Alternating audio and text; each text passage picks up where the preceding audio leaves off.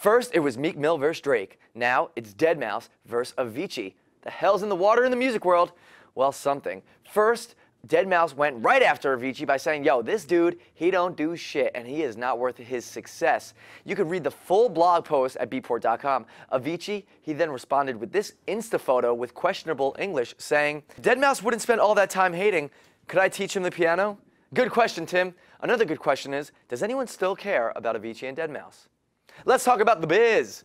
There are four Robin Hood titles in the works. One from Disney, Sony, Warner Brothers, and Legendary, whose gritty and revisionist take on Robin Hood, Robin Hood Origins, is in the vein of Dark Knight, which sounds pretty cool. Now, they vetted a list of actors, and here's who's on the short list. Taron Egerton, Jack Huston or Houston, Jack Reynor, and even Dylan O'Brien. Now, Jack Reynor is the only one to have had a successful session with the director, giving him a leg up on the competition. Disney's Nottingham and Hood is going to be in the vein of Pirates of the Caribbean and Enchanted. Sony's Hood is in the vein of Mission Impossible meets Fast and the Furious. And Warner Brothers will still getting some more facts about it. Over to TCA.